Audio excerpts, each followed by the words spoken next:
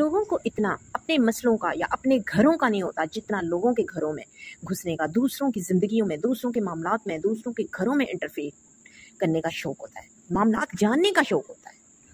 अस्सलाम वालेकुम, जी क्या हाल है आपके? उम्मीद करती हूँ ठीक होंगे। अल्लाह पाक आप लोगों को ठीक रखे, खुश रखे और आखिरी सांस तक ईमान की हालत में रखे। अल्हम्दुलिल्लाह, जी मैं भी ठीक हूँ और आप सबकी दुआओं की वजह से बेहतरीन हालत में हूँ। अल्लाह पाक आप लोगों को भी बेहतरीन हालत में और सेहत वाली ज़िंदगी अता फरमाए। और जनाब क्या हो रहा है? कैसी से तबीयत है? और फैमिली कैसी है? आपके वालदेन सब ठीक ठाक है? अल्लाह पाक आपके वालदेन को भी ठीक रखे और हमेशा आप लोगों के सर पे उनका साया कायम रखे।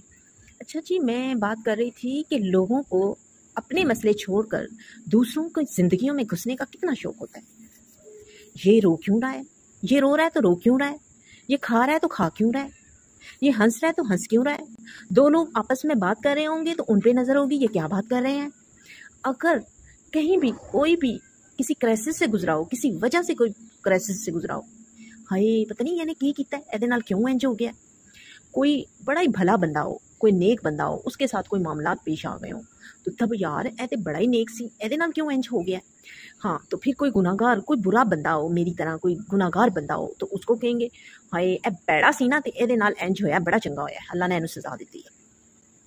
भाई, ये कौन होते हैं लोग फतवे लगाने वाले और अगले की मुश्किलों को सामने रख के, अगले के घरों के मसलों को सामने रख के, अगले की ज़िंदगियों को सामने रख के जज करने वाले, फतवे लगाने वाले, ये कौन होते हैं? इनसे अपने घर के मसले मसाइल संभलते नहीं हैं। घर में क्या हो रहा है? औलाद किधर जा रही है? घर की परेशानियाँ किधर हो रही हैं? आपस में मियाँ बीवी में टेंशनें चल रही हैं, वो क्यों चल रही हैं? या आपस में उलझे हुए हैं? आपस में बच्चों में टेंशनें चल रही हैं, वो क्यों चल रही हैं? घर में परेशानियाँ हैं, वो क्यों? उस तरफ़ इनका बिल्कुल भी ध्यान नहीं होता। दूसरों के मसलों की तरफ़ ये कूद के, डड्डू आर कूद के जाते हैं कि हम देखें भाई, दूसरों के घरों में या रिश्तेदारों के घरों में क्या खीर पक रही है, हम भी खा लें। अगर कोई इंसान मेहनत करके अपने बल बोते पे खड़ा होके स्टैंड हो गया अच्छा खाने पीने लग गया तो तब भी किस तरह करते हो की होया है किमें होया है? मतलब लोग इंटरफेयर करेंगे हर मामला में। अगर आपने बदतरीन हालत से गुजर के अगर आप सेट हो गए हैं, अल्लाह पाक ने आपको अच्छा रिजक दे दिया है तो तब भी हाई पहले इंसान होने किमें हो गए ने। अगर कोई बीमार है तो अल्लाह पाक ने उसे सेहत दे दिया वो अच्छा चलने फिरने लग गया, तब भी उसको बातें। अगर कोई खा रहा है, पी रहा है, तब भी उसको बातें। अगर कोई रो रहा है, मुश्किल में है, तब भी उसको बातें। अगर कोई हंस रहा है या किसी भी वजह से खुश है, तब भी उसको बातें। अपने घरों में बदतरीन हालत चल रही हो, लेकिन दूसरों के मसले सामने रख के देख रहे होंगे कि हाँ ऐसा कौन, वैसा कौन। और मैं आपको एक बात बताऊँ, जो लोग अपने मसले, अपने घर, अपने आप को, अपने चीज़ों को छोड़कर दूसरों की ज़िंदगियों में घुसते हैं ना, दूसरों के मामला में घुसते हैं ना तो यकीन जाने अल्लाह के सबसे नापसंदीदा ये लोग होते हैं। जितनी मेहनत, जितना कष्ट आप लोगों की ज़िंदगियों को पढ़ने में, लोगों के मामला को घुस कर जानने में लगाते हो, या अपने रिश्तेदारों के मामला को घुसने में, के जानने में लगाते हो, इतनी मेहनत अगर आप अपने ऊपर कर लो ना, अपने अमलात सीधे करने पे कर लो ना, अपने घर और मसले मसाइल पे नज़र मार लो ना तो यकीन जाने आपका घर जन्नत भी बन जाएगा और आखरत भी संवर जाएगी, आखरत भी जन्नत बन जाएगी। यकीन माने। इसलिए खुदारा खुदारा रिक्वेस्ट है मेरी उन लोगों से, जो अपने जो रिश्तेदार, जो लोग रिक्वेस्ट है उनसे कि प्लीज़ लोगों के मामला में घुसना छोड़ दें, अपने मामला में इंटरेस्ट लें, अपनी ज़िंदगियों में इंटरेस्ट लें, अपने आप को जांचें कि आपको अपने आप पे तवज्जो देने की ज़रूरत है, आपको अपना आप पॉलिश करने की ज़रूरत है, अपने घर को तवज्जो देने की ज़रूरत है, आपको अपने बच्चों को, अपने शोहर को या शोहर को, बीवी को, अपनी फैमिली को तवज्जो देने की ज़रूरत है, ना कि लोगों को, मसलों को तवज्जो देने की ज़रूरत है, ना कि कनसुइयाँ या घुनसुन्ना बनने की ज़रूरत है आपको।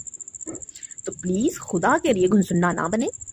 अपने मसले, अपने जो मसले हैं ना, ये उन लोगों से कह रही हूँ जो लोग दूसरों की ज़िंदगी में मोस्टली लोग घुसते हैं। तो अपने जो है ना मसले सुधारने की कोशिश करें। अपने घर में आपके आग लगी होती है चले होते हैं, दूसरों की आग के अंदर छलांग लगाने तो खुदा रहा, आप अपने घर की आग को बुझा लें, अपने आप की आग को बुझा लें। जो दूसरे हैं ना, वो अपना समेटा खुद कर लेंगे। यकीन जाने इंसान अपने गिरेबान में झांके ना, अपनी ज़िंदगी में, अपने गिरेबान में, अपने घर में झांके ना तो उसको इतने मसले, इतने चीज़ें नज़र आ जाएँगी ना कि उसको फुर्सत ही नहीं मिलेगी कि दूसरों की ज़िंदगी में, दूसरों के मसलों में इंटरेस्ट लेने की। अगर लोग दूसरों को छोड़ के अपनी ज़िंदगियाँ सुधारने लग जाए ना तो कसम से हर घर में नाइन्टी परसेंट मसले ख़त्म हो जाए। यकीन माने इस चीज़ को आप आजमा कर देखें। अपने काम से काम रखने वाला बंदा कसम से बड़ा सुखी है, यकीन माने। और जो लोग हर किसी के मामला में इंटरफेयर करता है ना, उसको दूसरों से तो लितर जो पढ़ते हैं, पढ़ते ही हैं ना, वो खुद भी बड़ा दुखी रहता है। ये आप आजमा लें।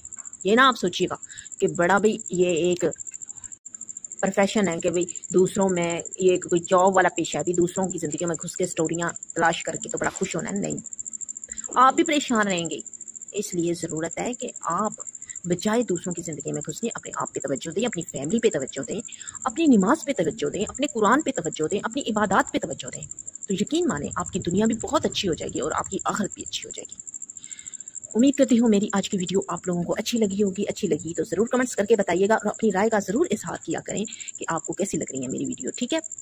क्योंकि मैं हर रियलिटी पे जो मैं मेरे चैनल का नाम है रियल टॉक विद महा कि मैं हर रियलिटी पे टॉपिक लेके आती हूँ, जो ज़माने में हो रहा होता है या दीन से रिलेटेड मेरे टॉपिक होते हैं, या जो ज़माने में हो रहा होता है, उससे रिलेटेड मेरे टॉपिक होते हैं। मैं आई बाई शाई वाली वीडियो बिल्कुल नहीं बनाती, मैं एक मैसेज सामने रख के वीडियो बनाती हूँ, ठीक है? और जाते जाते ये कहूँगी कि मेरे चैनल को सब्सक्राइब कर दें, और वीडियो अच्छी लगे तो ज़रूर लाइक कीजिएगा, अपना बहुत सा ख्याल रखिएगा, दुआओं में महासन को याद रखिएगा, और आप इजाज़त दीजिए, अल्लाह हाफिज़ टेक केयर